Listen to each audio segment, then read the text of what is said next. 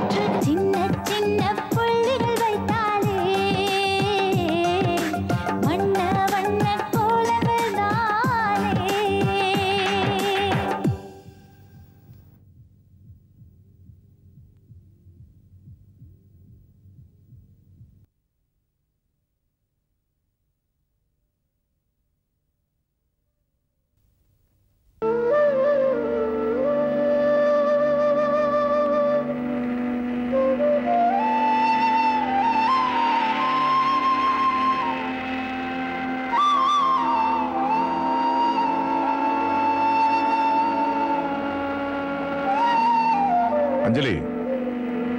அஞ்சலி. நம்ம அஞ்சலி. கூப்பிட்டீங்களா மாமா? எவ்வளவு நேரமா கூப்பிட்டுக்கிட்டு இருக்கேன். நீ கவனிக்கவே இல்லையே. என்னமா யோசனை பண்ணிட்டு இருக்க அது ஒண்ணு இல்ல மாமா. அது முதல்ல இந்த மிக்ஸி ஆஃப் பண்ணுமா. எவ்வளவு நேரமா ஓடுது? சாரி மாமா. ஏதோ ஞாபகத்துல இருந்துட்டேன். உங்களுக்கு என்ன மாமா வேணும்? குடிக்கிறதுக்கு தண்ணி எடுத்துட்டு வாமா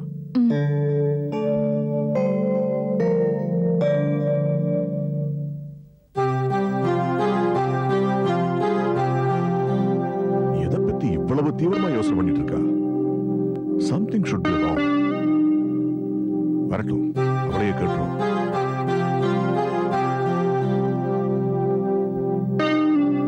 இந்தாங்க மாமா. அஞ்சலி உட்காருமா. உட்காருமா.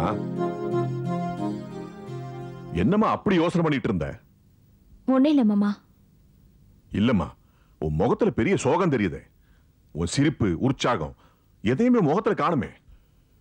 உன்னை நான் இதுவரைக்கும் இப்படி பார்த்ததே இல்லையேம்மா. அதெல்லாம் ஒண்ணு இல்ல மாமா. ஏமா ஓடிக்கிட்டு இருக்கிற மிக்ஸியை கூட நிறுத்தாம சட்டத்தை மீறி எதையோ நினைச்சு ஃபீல் பண்ணிக்கிட்டு இருந்தியே. உனக்கு என்ன பிரச்சனை? சொல்லுமா சொல்லு. உன் அத்தை ஏதாவது சொன்னாளா? இல்ல மாமா. அப்புறம் என்னம்மா? விக்ரம் ஏதாவது கோவமா நடந்துக்கிட்டானா? சொல்லுமா நான் கேக்குறேன்ல. எதுக்குமா தயங்குறேன் என்ன வேற ஆளா நினைச்சா சொல்ல வேண்டாம். நான் உன்னை என் பொண்ணு மாதிரி நினைக்கிறேன். அதுக்கப்புறம் நீ சொல்றதும் சொல்லாததும் உன் இஷ்டம்மா. என்ன மாமா இப்படி சொல்லிட்டீங்க? உங்களை போய் நான் வேற எல்லாம் நினைப்பேனா? அந்த தெய்வத்துக்கு சமமா? உங்களை நான் மதிக்கிறேன். என் பிரச்சனையை உங்ககிட்ட சொல்ல போய் உங்களையும் எதுக்கு கஷ்டப்படுத்தணும்னு தான் நான் தயங்கினேன். பாருமா வேதனையை மத்தவங்கள்ட்ட சொல்லும்போது பாதி குறைஞ்சிடும். எந்த பிரச்சனையா இருந்தாலும் பேசி தீர்த்துக்கலாம். தயங்காம சொல்லுமா? ராத்திரி எனக்கும் அவருக்கும் ஒரு சின்ன பிரச்சனை. அது அவருக்கு கோவத்தை வரவழைச்சிடுச்சு. நாங்க பழகின இவ்வளவு காலத்துல அவர் என்கிட்ட இப்படி கோவப்பட்டு நான் பார்த்ததே இல்ல. நேத்து நடந்த அந்த பிரச்சனையால அவர் என்கிட்ட கோச்சுக்கிட்டு ரூமை விட்டு வெளியில போய் படுத்துக்கிட்டாரு. அப்படி என்னம்மா பிரச்சனை உங்களுக்குள்ள?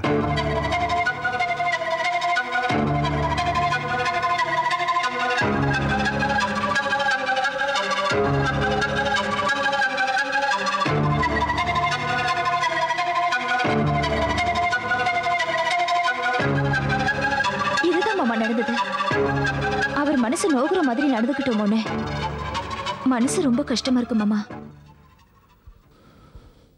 இதுதானே உங்க பிரச்சனை? கவலைப்படாத. இந்த பிரச்சனையை நான் சால்வ் பண்றேன்.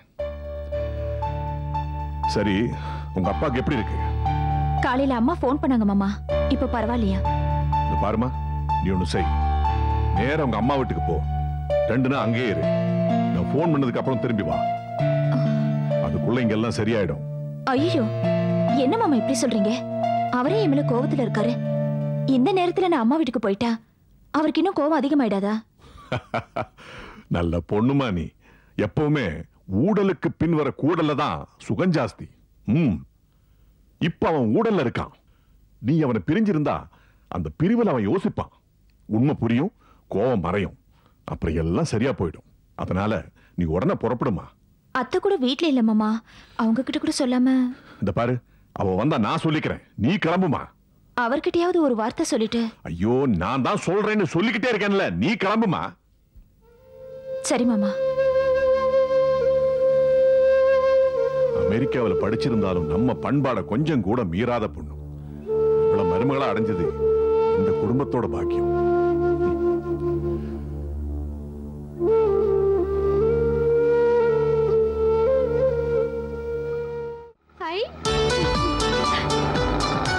பார்த்தோன்னு எவ்வளோ ஆசையா ஓடி வரப்ப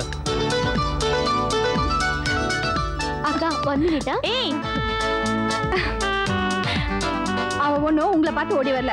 பின்னாடி மெட்ரோவோட லாரி வருது. அதான் ஓடி வந்தா. அதுவும் வாஸ்தவம் தான் இப்போ மாமாவோட தண்ணிக்கு தான் ரொம்ப டிமாண்டு அதான். இடி கேட்டதாகும் போலே. எனதுடன் தூடி குதே மடிந்தாலும் இந்த வார்த்தை மறந்திடுமோ? கைகையி கைகையி எனது இளம் கோதையே. உட்காருங்க. உட்காருங்க மாமா. நீங்க உட்காருங்க. எப்படி இருக்கீங்க? நான் நல்லா இருக்கேம்மா. நெய் மறந்து பாடிட்டு இருந்தீங்க. டிஸ்டர்ப் பண்ண வேணாம்னு அப்படியே உட்காந்துட்டோம் ஆமா மாமா இந்த பாட்டு எதுல வருது? அது பழைய நாடக பாட்டு ராமாயண பாட்டு. ரொம்ப பிரமாதமா ரசிப்பாங்க ஜனங்க. இப்பெல்லாம் நாடக பாட்டுனா ஜனங்களுக்கு ரொம்ப பிடிக்கும். இப்பெல்லாம் வருதே மியூசிக்ங்கிற பேர்ல ஒரு இரைச்சல். அதுக்கு பேர் மியூசிக் இல்ல மியூசிக்கு ம் வார்த்தையோட விளையாடுறீங்களே மாமா. வாழ்க்கையோட தான் போராடிக்கிட்டு இருக்கேன். வார்த்தையோடையாவது விளையாடிக்கிட்டு இருக்கலாமே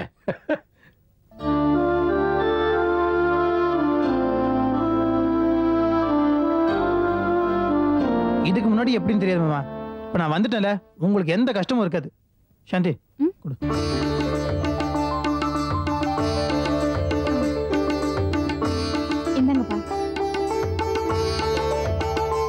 மாமா எப்படி இருக்கு? விசேஷம் ஒன்றும் இல்லை மாமா. உங்களுக்கும் ரம்யாவுக்கும் வாங்கிட்டு வரணும்னு தோணுச்சு. அதான் வாங்கிட்டு வந்தோம். கல்யாணத்துக்கு முறைப்படி நான் எடுத்து கொடுக்க வேண்டிய துணிமணிகளையே எடுத்து கொடுக்கல. நான் நினைக்கிறப்பதான் ஒரு மன சங்கடமும் தேவையில்லை மாமா. நான் உங்ககிட்ட எதிர்பார்த்தது ஒண்ணே ஒன்று தான் சாந்தி நீங்க எனக்கு மனப்பூர்வமா கல்யாணம் பண்ணி தரணும். அதான் நீங்க பண்ணிட்டீங்களே. எனக்கு அதுவே போதும் மாமா. ரம்யா நீ தண்ணில இருக்கா ஓட்டுனல? அத பார்த்துட்டு உங்க மாமா அவரை பார்க்க தான் ஓடி வர நினைச்சு ரொம்ப சந்தோஷப்பட்டாரு. அப்படியா? குடத்தை கொண்டு போய் கியூல வைக்கலாம் தான் போனேன். மாமா காரை பார்த்ததும் ஓட ஆரம்பிச்சுனா அந்த நேரம் பார்த்து தூரத்துல இருந்து தண்ணி லாரி வந்துச்சா? ஆரம்பிச்ச ஓட்டத்தை கார்ல இருந்து லாரி வரைக்கும் எக்ஸ்டெண்ட் பண்ணிட்டேன். சாரி மாமா. உனக்கு சரிம்மா.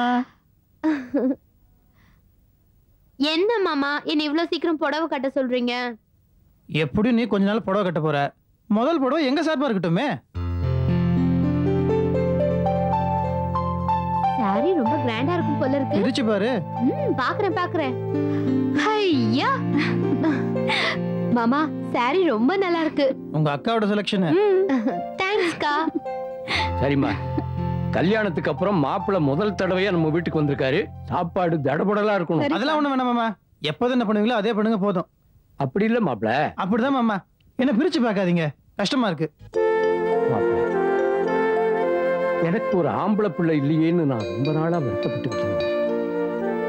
இப்ப நீங்க கிடைச்சிருக்கீங்க. மாமனார் கிட்ட இருக்கிற பணத்தை மட்டுமே நோக்கமா இருக்கிற மாப்பிள்ளைங்க இருக்கிற இந்த காலத்துல. இப்படி ஒரு மாப்பிள்ளை கிடைச்சிருக்கிறது. நான் செஞ்ச பாக்கியம். ரொம்ப புகழாதீங்க மாமா. நான் ஒரு வசதியான குடும்பத்துல பிறந்தனால படம் பெருசா தெரியல. இதுவே ஒரு மிடில் கிளாஸ் ஃபேமிலியில பிறந்தேன்னு வச்சுக்கோங்க. அப்புறம் நானும் வில்லன் மாப்பிள்ளையா இருப்பேன். அடடடடடா என்ன ஒரு தன்னடக்கம்? மடி அடக்கம் அமரருள் உய்க்கும்.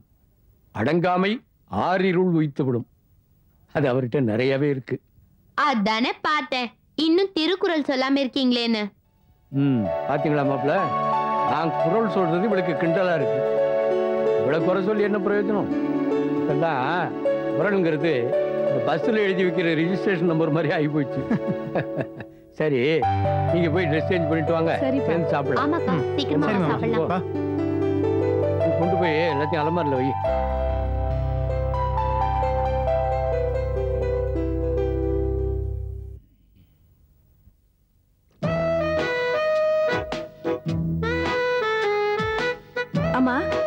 நீங்க எக்ஸசைஸ் பண்றதே இல்லையாம்மா?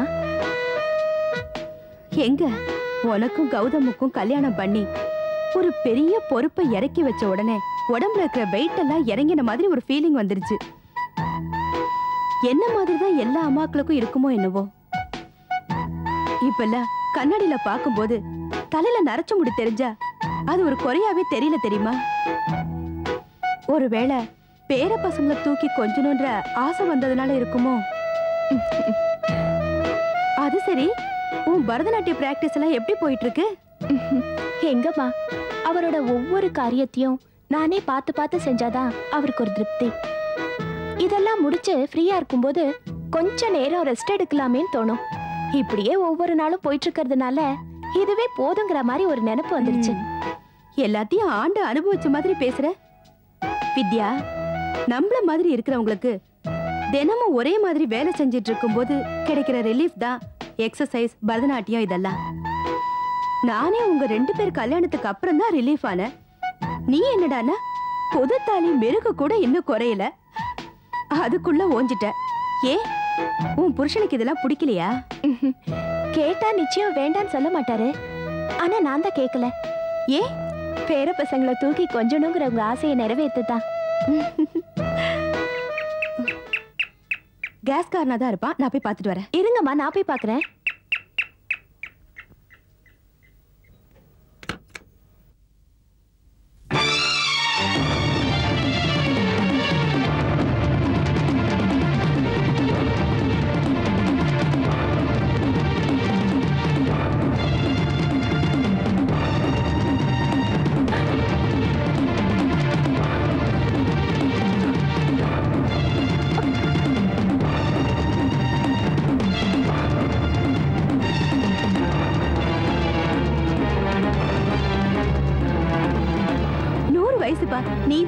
தான் இப்பதான் என் பொண்ணுகிட்ட சொல்லிட்டு இருந்த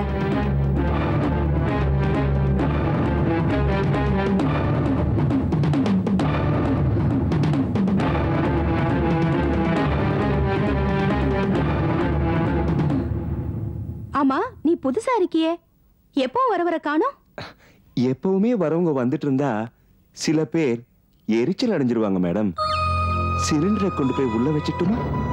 கிச்சன்ல இறக்கி வச்சிரு. வித்யா கிச்சனை காட்டு. எனக்கு உள்ள கொஞ்சம் வேலை இருக்கு. வித்யா பாவம் உங்க அம்மா. நீ எனக்கு வழி காட்டணுமா இப்போ நான் தான் உங்களுக்கு வழி காட்டுறேன்னு அவங்களுக்கு எங்க தெரியும் பாவம்?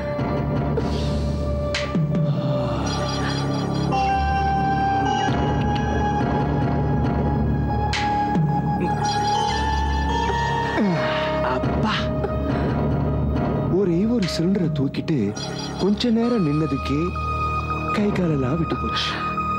அப்போ என்னால இவ்வளோ டென்ஷனும் மனசுக்குள்ள சுமந்துட்டு இருக்கிற உனக்கு வாழ்க்கையே விட்டு போயிருக்கும் இல்ல? உன்னோட தொல்லை இல்லாம ஒரு ரெண்டு நாள் நிம்மதியா இருக்கலாம்னு இங்க வந்தா இங்க வந்து ஏன் என் உயிரை வாங்குற? என்ன வித்யா இப்படி கேட்டுட்ட? சீதை இருக்கிற இடம் தானே இந்த ராவணனுக்கு அசோகவனம் எனக்கு தெரியும் வித்யா வெற்றி ஊருக்கு போன உடனே நீ எஸ்கேப் ஆக நினைப்ப ஆனா நீ இங்கதான் வருவேன்னு. எனக்கு தெரியும்னு. பாவம் உனக்கு தெரியாது. வித்யா நீ எங்க போய் ஒளிஞ்சுக்கிட்டாலும் நான் உன்னை விடாம துரத்திக்கிட்டே இருப்பேன். ஏன்னா நான் உன்னோட விதி. உனக்கு என்னதான் வேணும்? எனக்கு என்ன வேணும்னு உனக்கே தெரியும்? ஆனா இங்க வந்து கேட்டா என்னால எப்படி தர முடியும்? இப்படி ஒரு சால்டாப்பு பதில சொல்லி என்ன ஏமாத்திடலாம் நினைக்காத. ஆனா இங்க இருந்து என்ன கிடைக்கும்னு எனக்கு தெரியும். சத்தியமா என் கையில எதுவுமே இல்ல. அஹ்,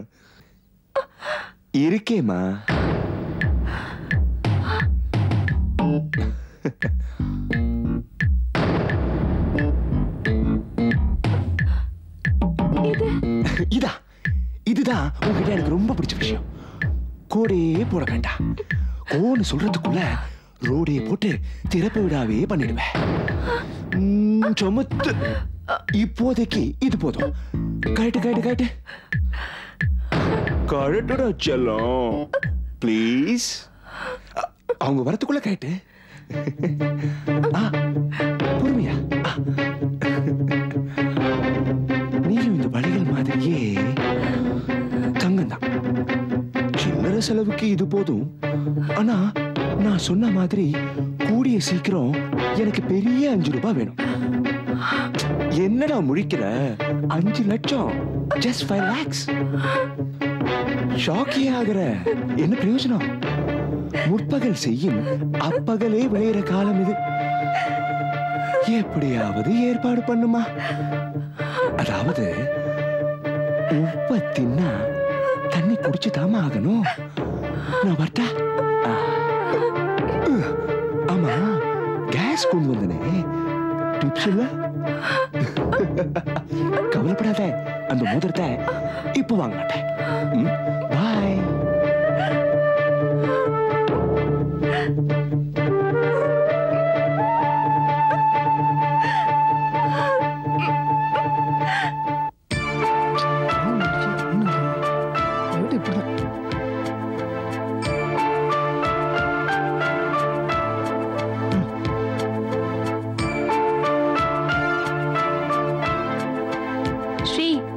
போட்டுக்கிறியா இது ஒண்ணுதான் குறைச்சல் உன் வேலைலாம் முடிஞ்சதா?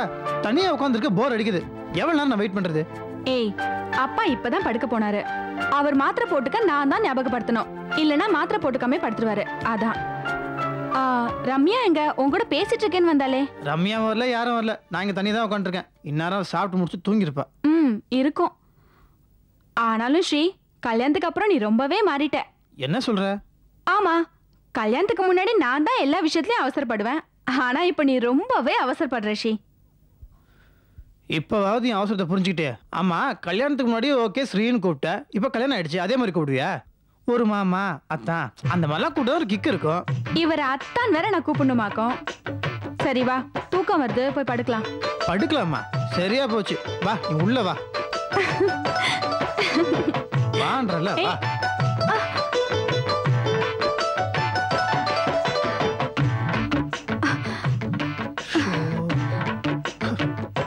ஐயோ என்னங்க ரம்யா இங்க வந்து படுத்துட்டு இருக்கா என்ன வந்து ஐயோ மெதுவா. என்கிட்ட கேட்டா எனக்கு எப்படி தெரியும்?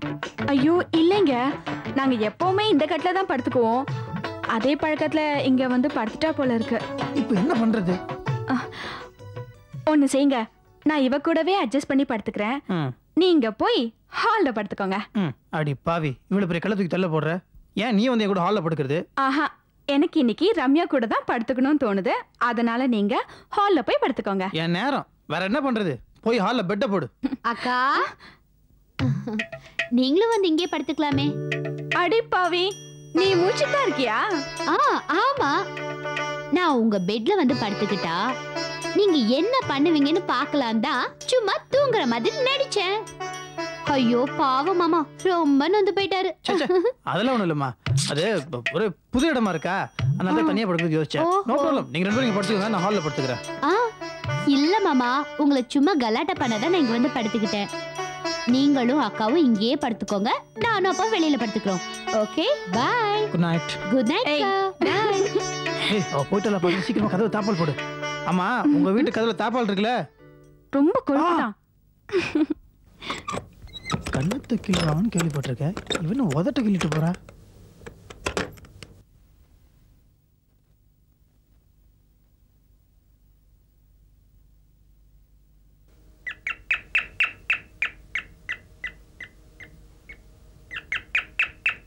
யாருடா இது இந்த நேரத்துல பெல் அடிச்சுக்கிட்டு.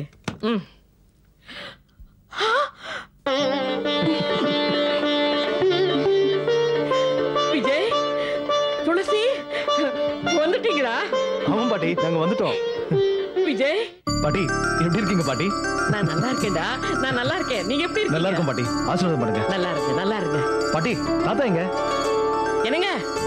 என்னங்க? எங்க போயிட்டீங்க? இங்க வாங்க. என்னங்க? யார் வந்திருக்காங்கன்னு பாருங்க.